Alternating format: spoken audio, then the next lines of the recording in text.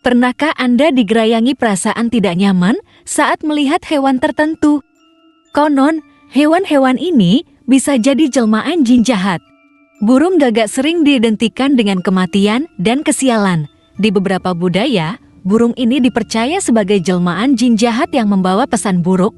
Konon, suara gagak yang serak dan tidak sedap dipandang telinga merupakan pertanda akan datangnya musibah. Dianggap sebagai jelmaan penyihir atau jin jahat, kucing hitam diyakini mampu mendatangkan malapetaka bagi yang melihatnya. Kucing hitam memiliki kemampuan untuk membawa sial dan kesialan bagi pemiliknya. Di beberapa budaya, anjing hitam diyakini sebagai jelmaan jin jahat yang ingin mencelakai manusia. Konon, mereka sering berkeliaran di malam hari dan mencari mangsa. Kehadiran anjing hitam di sekitar rumah dipercaya dapat membawa kesialan dan penyakit. Like ya, dan subscribe channel ini.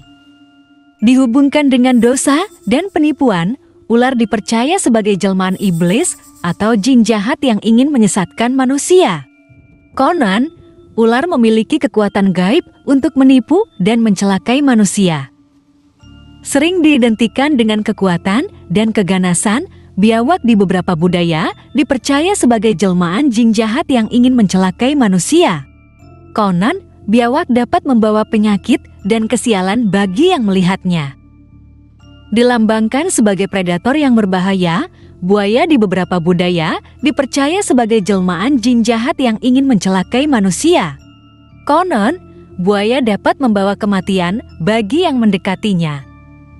Simbol bahaya dan kematian Kala jengking dipercaya sebagai jelmaan jin jahat yang ingin mencelakai manusia.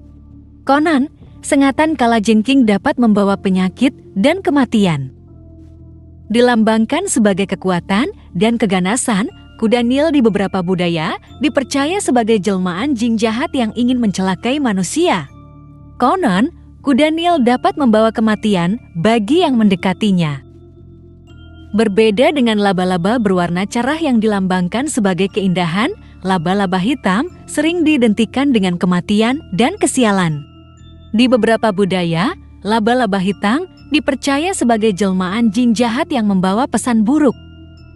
Lalat diyakini sebagai simbol kotoran dan penyakit di beberapa budaya. Lalat dipercaya sebagai jelmaan jin jahat yang ingin membawa penyakit dan kesialan. Konon, lalat dapat menularkan penyakit bagi manusia.